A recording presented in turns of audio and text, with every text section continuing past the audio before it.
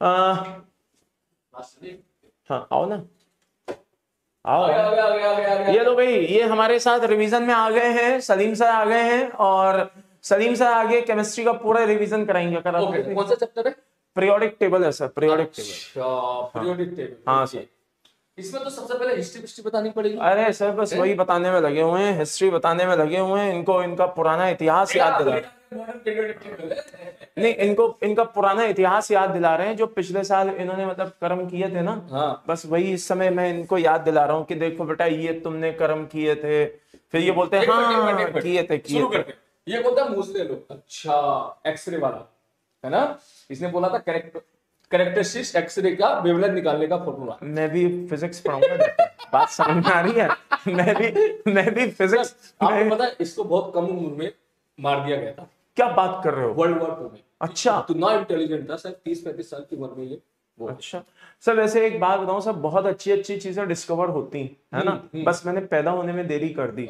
हाँ मैं थोड़ा लेट पैदा हुआ नहीं तो मतलब आज यहाँ पे लिखा होता है एटीएस लॉ कहीं आप भी तो दूसरा जन्म लेके आ गए लोग लेके। आई डोंट है कुछ कुछ भी पॉसिबल है भाई कुछ भी पॉसिबल है। ये देखिए बच्चों ने अपने बचपन के चेहरे बनाने शुरू कर दिए हैं। ठीक है? हम्म। बचपन के चेहरे बनाने शुरू कर दिए गोलू गोलू से। गोलू गोलू? हाँ। है ना? गीली पप्पी। है ना? पप्पी झप्पी सब चाहिए इनको। चलो बहुत बढ़िया बहुत बढ़िया। बहुत ही बढ़िया।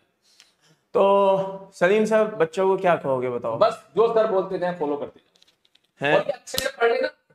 ठीक है? अच्छे से पढ़ लेना। मुझे मुझे मुझे मदद मिल जाएगी जब मैं मॉडर्न फिजिक्स पढ़ाऊँगा तब। तब हम भी देखेंगे यहाँ पर। सही है। ठीक है ना? नहीं। Don't underestimate the power of IOC आप देखिए एक फिजिक्स का एक फिजिक्स की फैकल्टी कह रही है नहीं एक फिजिक्स की फैकल्टी कह रही है बताओ मतलब ये बता रहे हैं फिजिक्स के सर कि भैया इसको अच्छे से पढ़ लेना फिजिक्स तक में काम आएगा और बताओ तुम लोग कहते हो कि मतलब आईओसी रटने वाला है ये है वो नहीं मैं आपको नहीं कह इनको कह रहा हूँ ये ये जो हाँ, ये जो सामने है ना ये गोलू गोलू से हाँ।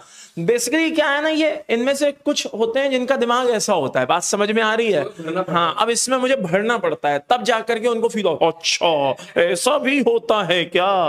हाँ तो भैया इनऑर्गेनिक अच्छे से पढ़ लेना फिजिक्स के साथ सामने है वो खुद कह रहे हैं कि मॉडर्न फिजिक्स में ज़रूरत पड़ेगी क्यों भाई? हाँ मॉडर्न फिजिक्स में ज़रूरत आज तो कसम से कह रहा हूँ मतलब मतलब पहली। बार आपने तारीफ़ सुनी होगी ना इनऑर्गेनिक मतलब केमिस्ट्री नहीं ऐसा फील आ रहा है कि इनऑर्गेनिक की खोई हुई इज़्ज़त वापस वापस आ रही है। नहीं बात सच मैं तो एक बात बोलूँ।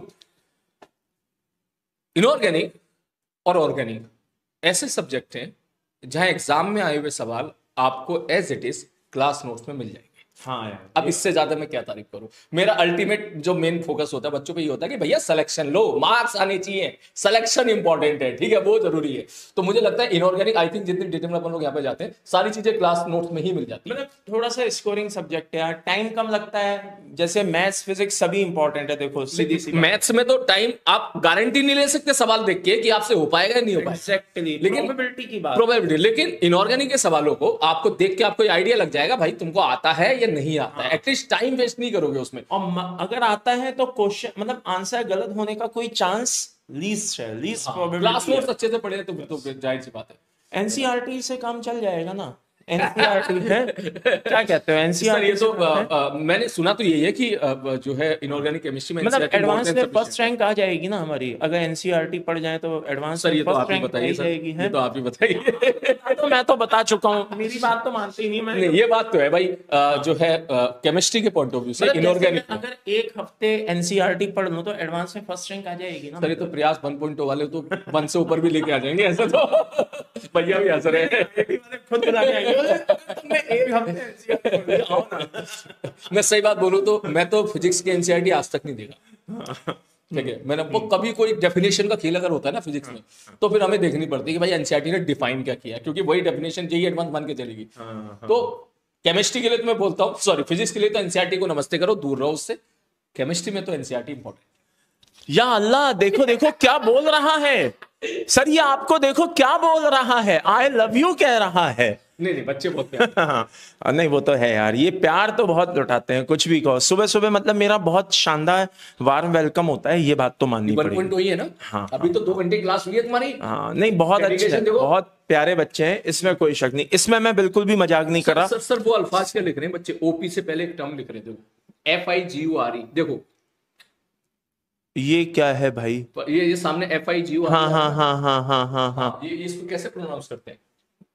पता नहीं भाई ये क्या है। हाँ नहीं नहीं पता मतलब इनकी कुछ टर्मिनोलॉजी जो है ना मैं बाउंस हो जाती है भाई। फिर मैं अपने आप को बताऊँ कैसे सेटिस्फाइड करता हूँ? हाँ। मैं ऐसे सेटिस्फाइड करता हूँ मैं मान के चलता हूँ कि यार शायद तारीफ़ ही कर रहे होंगे। अच्छा, अपन नेगेटिव काय को सोचे?